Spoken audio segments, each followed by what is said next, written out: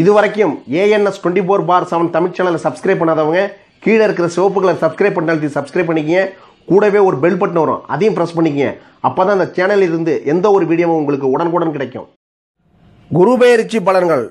இரண்டாயிரத்தி பத்தொம்போது முதல் இரண்டாயிரத்தி இருபது வரைக்கும் உண்டான குரு பெயர்ச்சி பலன்கள். அதாவது இருபத்தி ஒம்பது பத்து இரண்டாயிரத்தி பத்தொம்போது முதல் முப்பது பத்து இரண்டாயிரத்தி இருபது வரைக்கும் உண்டான குரு பெயர்ச்சி பலன்கள். இந்த குரு பெயர்ச்சி பலன்களில் துலாம் ராசிக்கு உண்டான பலன்களை காண்போம். வெற்றியை எட்டும் வரை துவளாத மனதோடு துடிப்போடு செயலாற்றும் துலாம் ராசி நேயர்களே பழகுவதற்கு இனியவராய் அடுத்தவரை வசிவருப்பவராய் மனதில் இருப்பதை வெளியில் காட்டிக்கொள்ளாதவராய் திகழ்பவர்கள் நீங்கள். குடும்பத்தில் தொழில் புரியும் இடத்திலும் தனக்கென்று ஒரு கௌரவம் வேண்டும் என்று நினைப்பீர்கள். நன்றி மறக்காத நீங்கள் ஒரு முறை ஒருவர் செய்த உதவியை எத்தனை ஆண்டுகளானாலும் மறக்க மாட்டீர்கள். எல்லோரையும் எளிதில் கவரும் ஆற்றல் உங்களுக்கு உண்டு. உங்கள் அணுகுமுறை மற்றவர்கள் மனதை புண்படுத்தாத விதத்தில் அமையும். நீதி நேர்மைக்கென்று நீங்கள் முக்கியத்துவம் கொடுப்பதால் உங்களுக்கென்று ஒரு தனி கூட்டமே இருக்கும். பஞ்சாயத்துகளில் நீங்கள் பஞ்சாயத்து தீர்ப்பளிக்க போகிற இடத்துல உங்கள் பேச்சை கேட்க நீங்கள் என்ன தீர்ப்பு வழங்க போறீங்கிறத பார்க்கறதுக்காக பல பேர் உங்களுக்காக காத்திருப்பாங்க. பார்ப்பதற்கு பசு போன்று நீங்கள் காணப்பட்டாலும் உள்ளுக்குள் நீங்கள் ஆவேசக்காரர் அவசரக்காரர். நிதானிக்காமல் பல காரியங்களில் ஈடுபடக்கூடியவர்.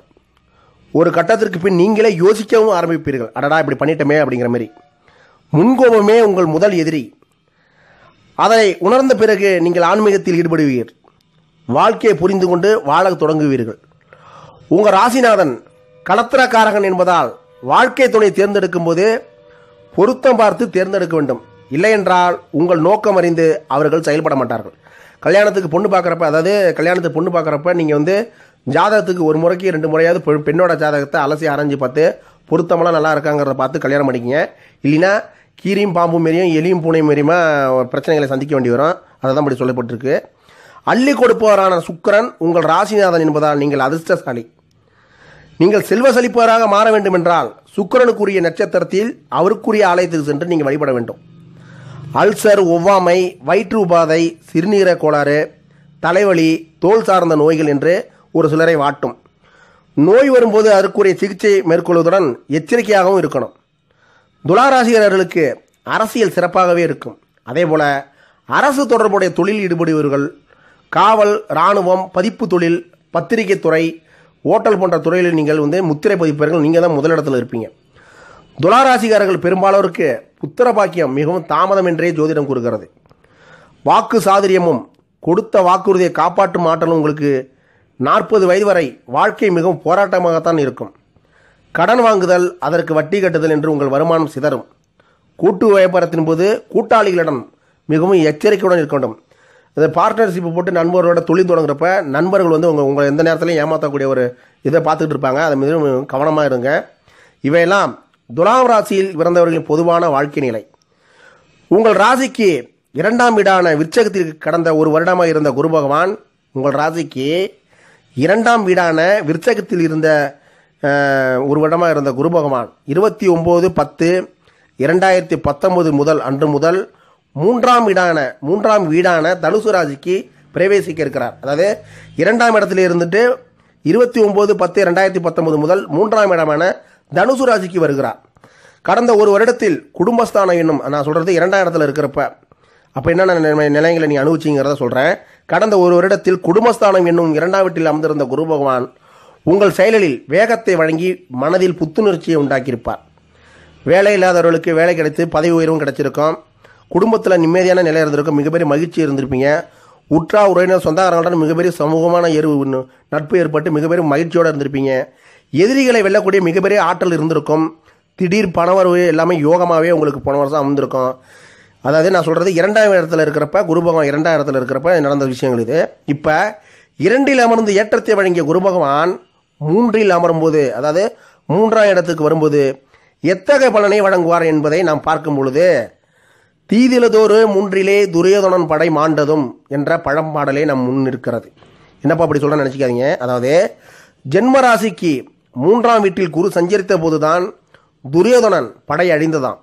அதுநாள் வரை சர்வ வல்லமையுடன் சூழ்ச்சியாலும் திறமையாலும் குளச்சி வந்த துரியோதனன் பலத்தை இழந்து படையை இழந்து அனைத்தையும் இழந்து குரு பகவான் மூன்றில் வந்து நின்ற காலத்தில் தான் அது நடந்திருக்கு.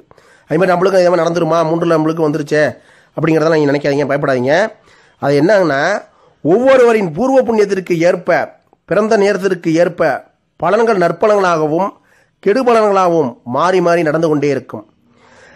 கதப்பின் ருசியை உணர்ந்தவரால் தான் இனிப்பை ருசிக்க முடியும். அது ஆமாம் அதேபோல் வாழ்க்கையில் சங்கடங்களும் பிரச்சனைகளும் வந்தால்தான் அவற்றிலிருந்து எப்படி விடுபடுவது என்று யோசித்து அதன்படி செயல்பட வைக்கும். ஒரு வீட்டில் இருக்கும்போது நன்மையை வாரி வழங்கும் ஒரு கிரகம் அடுத்த வீட்டிற்குள் போகும்போது பாதகமான நிலையை வழங்குவதற்கு இதுவே ஒரு காரணம்.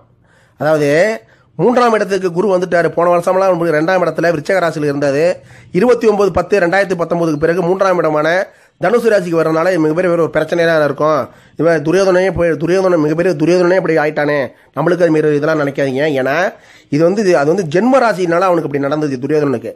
உங்களுக்கு கிரகங்களோட அதாவது இந்த நட்பு தோழமான கு- குரு பகவான கிரக நட்பு கிரகம் இருக்குது பார்த்தீங்களா அது மூலமாக சில நன்மைகள் ஏற்படும். அதேமாரிலாம் உங்களுக்கு ஏற்படாது. நன்மைகள் தான் ஏற்படும்.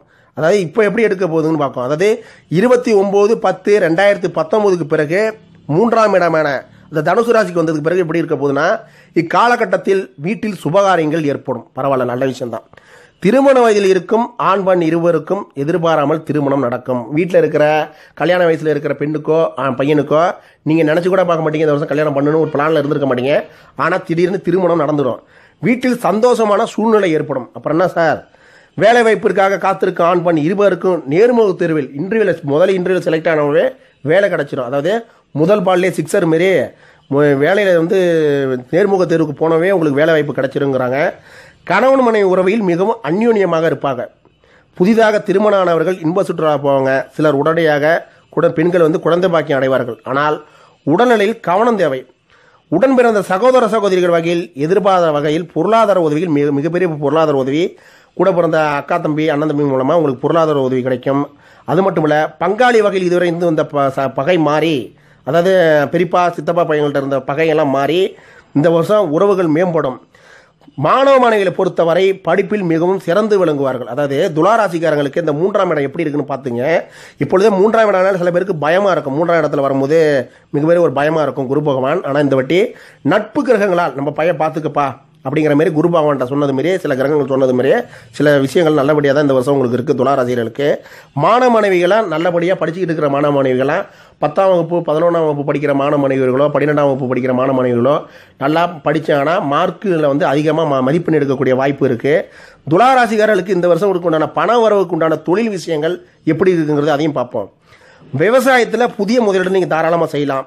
கால்நடை வளர்ப்பு உரக்கடை பூக்கள் வியாபாரம் காய்கறி வியாபாரம் மீன் இறைச்சி வியாபாரம் துணிக்கடை வியாபாரம் பியூட்டி பார்லர் டெய்லரிங் கடை ஆகவே லாபம் ஒரு தொழிலாகவே இந்த வருஷம் இருக்குது துலாக ராசிக்காரர்களுக்கு இந்த மூணாம் இடத்துல குரு வந்ததுக்கு பிறகு அதாவது தனுசு ராசிக்கு மூணாம் இடத்துக்கு வந்ததுக்கு பிறகு துளாராசிக்காரர் வேலையை பொறுத்த வரைக்கும் செய்கிற செய்கிற தொழிலை எந்த இதில் இருந்தாலும் உங்களுக்கு வந்து க நஷ்டமே வராது லாபம் தான் வருங்கன்னு சொல்லப்பட்டிருக்குது. துளாராசிக்காரர்கள் முறைப்படி இந்த இந்த வருடம் அது இந்த வருஷம் நீங்கள் வந்து வணங்க வேண்டிய பரிகார முறைப்படி வணங்க வேண்டிய கடவுள் எதுன்னு பார்த்தீங்கன்னா பைரவருக்கு அதாவது தேய்பிறை அஷ்டமி அன்னைக்கு போய் பைரவரை வந்து செவ்வர செவ்வரளி மலர் இருக்குது பார்த்தீங்களா செவ்வாரள்ளி செவ்வரளி மலர். அதை வந்து நீரில் கொண்டு போய் அபிஷேகம் பண்ணுற மாதிரி பைரவருக்கு வழிபடலாம். அப்புறம் உங்கள் அருகில் உள்ள ஆழம் முடிஞ்சவங்க ஆலங்குடி போயிட்டு வாங்க. ஆலங்குடி போக முடியாதவங்க பக்கத்தில் இருக்கிற கோவிலில் கண்டிப்பாக தட்சிணாமூர்த்தி இருப்பார். அவருக்கு கொண்டகடலை மாலையை வந்து வேண்டிக்கிட்டு இப்போ படைங்க. அப்புறம் பிரதி மாதம் மாதம் மாதம் வர அமாவாசை அன்னைக்கு ஏழைகளுக்கு அன்னதானம் கொடுத்தீங்கன்னா அதாவது ரெண்டு மூணு பிள்ளைங்களுக்கு அதாவது வயசானவங்களுக்கு வந்து மாதம் மாதம் வர்ற அமாவாசை அன்னைக்கு ஏழை வயதானவர்களுக்கு வந்து அன்னதானம் வழங்கினா மிகப்பெரிய ஒரு புண்ணியம். அது மட்டும் இல்லை படிக்கிற மாணவர்களுக்கு ஏதாவது நோட்டு புத்தகம் வாங்கி கொடுத்தீங்கன்னா மிகப்பெரிய ஒரு புண்ணியமாக இருக்கும் துளாராசி நேயர்களுக்கு. இந்த வருடம் துளாராசி நேயர்களுக்கு குரு பயிற்சி அனைத்து விதமான நன்மையும் அளிக்கட்டுன்னு சொல்லி கடவுளை வேண்டி பிரார்த்திக்கிறேன். நன்றி வணக்கம். குரு